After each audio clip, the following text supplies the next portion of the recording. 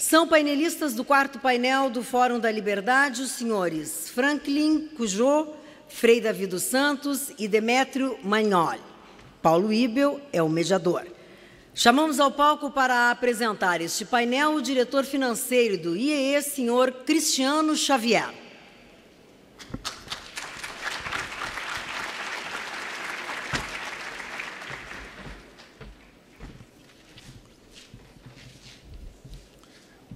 Boa tarde a todos. Com certeza, a busca pela plena liberdade de etnias é um desejo antigo da sociedade contemporânea. Este anseio deve-se, provavelmente, ao fato dos maiores conflitos bélicos e sociais terem surgido pela intolerância étnica em todo o mundo. Nesse sentido, podemos citar o Holocausto, Apartheid, guerras, Ku Klux Klan, terrorismo. Atualmente, mesmo nos países desenvolvidos, a situação não é diferente. O xenofobismo radical, agravado pela recente crise econômica e representado por grupos extremistas e skinheads, traduz a severa intolerância racial que insiste ultrapassar gerações, tanto na Europa Ocidental quanto nos Estados Unidos da América. Contudo, o Brasil, em que pese tenha escravizado seus nativos, assim como os africanos, há muito vem sendo considerado uma nação exemplar no que concerne a liberdade étnica e a tolerância racial. De fato, chama a atenção que um país com tamanha diversidade de etnias tenha conseguido com que nativos, negros, amarelos e brancos mantenham uma convivência tranquila e respeitosa. E mais, oportunizou essas raças usufruírem os mesmos direitos e desfrutarem de iguais oportunidades.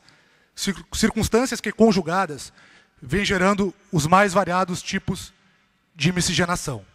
Resultado que coloca hoje pardos, mulatos, mamelucos, cafusos, ou seja, mestiços de forma geral, com a maior parcela da população brasileira. Fato não visto em nenhum, nenhum outro país do mundo.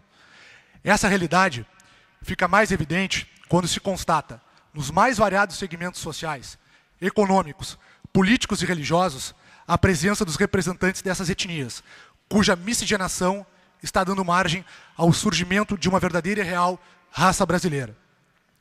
Apesar disso, o atual governo brasileiro vem tomando algumas decisões polêmicas e até não, para não dizer esdrúxulas, que podem ir de encontro ao modelo de liberdade étnica, provocando algum tipo de intolerância racial em nossa nação. Podemos citar a criação de cotas nas universidades federais, projeto de lei para, de cotas para concursos públicos federais e, mais esdrúxulo ainda, para empregos privados. Aumento indiscriminado das reservas indígenas e dos quilombos, entre outros que retratam esta distinção às avessas. Para discutir essas e outras questões, teremos esse quarto painel os brasileiros, jornalista Demetrio Magnoli, Frei Davi dos Santos, e o ativista político de Gana, Franklin Kudjoe. Um bom painel a todos. Muito obrigado.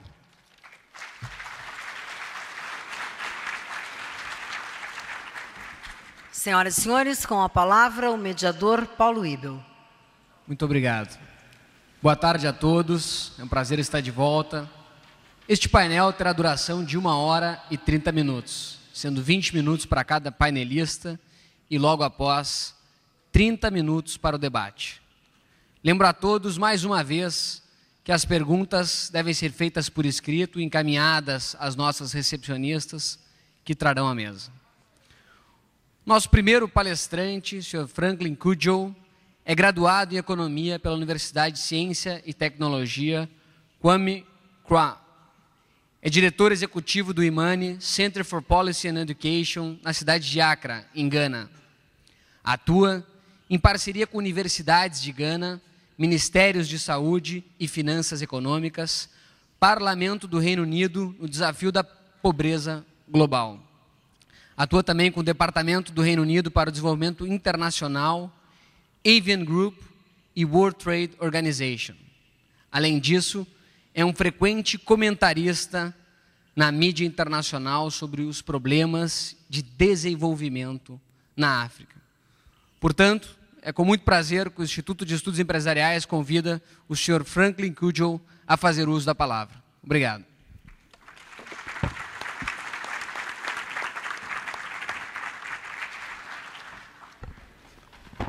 Obrigado. Thank you. Obrigado. Bom, essa é a única palavra em português que eu aprendi desde que eu cheguei. Obrigado. Bom, eu uh, notei que me disseram que, que disseram que eu era um, era um ativista político. Foi mencionado isso. Seja lá o que for que isso signifique, eu espero que neste país, quando se descreve alguém como ativista político, isso seja algo bom. Lá em Gana, quando se diz que alguém é um ativista político, bom, vamos entrar em confronto direto com autoridades. Eu espero que isso não aconteça aqui. Bom, não tenho nada contra a minha apresentação, foi perfeita, mas quis dizer isso, o que nós fazemos lá no nosso país é o que o IEE faz aqui, ou seja, ter uma abordagem do bo- bom senso para tentar fazer as coisas da forma certa do ponto de vista da economia do mercado. Eu gostaria de agradecer o IEE por terem me convidado a esse encontro de mentes inquisidoras. Eu sei que ter me convidado, vindo de tão longe, de 14 mil quilômetros, é mais do que um gesto. É uma integração étnica também aqui no seu painel. Eu devo lhes dizer que aprendi muito nesses dois dias e, mais uma vez, gostaria de agradecer muito por ter me trazido até aqui.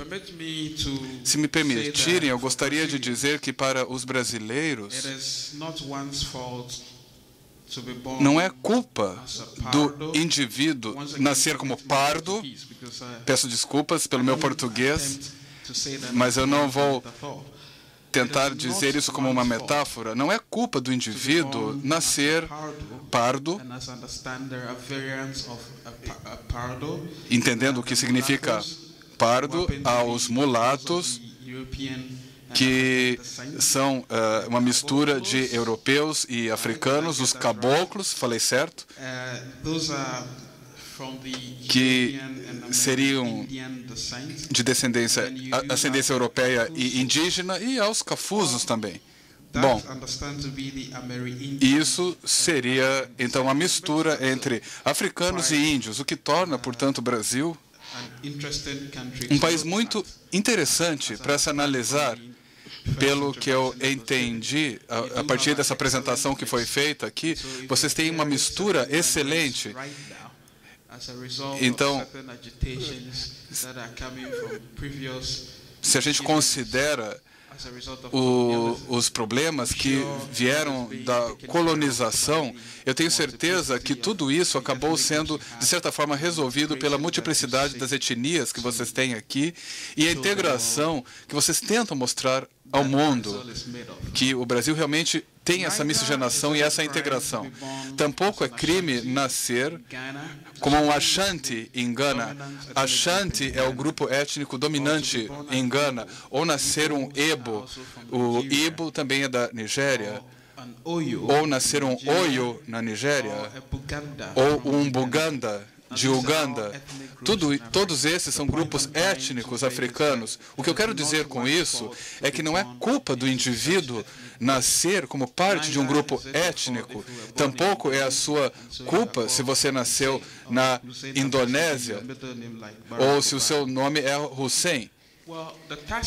Bom, a tarefa dos países é fazer que o, bom, o Estado tem que ter o seu papel adequado de proteger a liberdade e a propriedade de todos.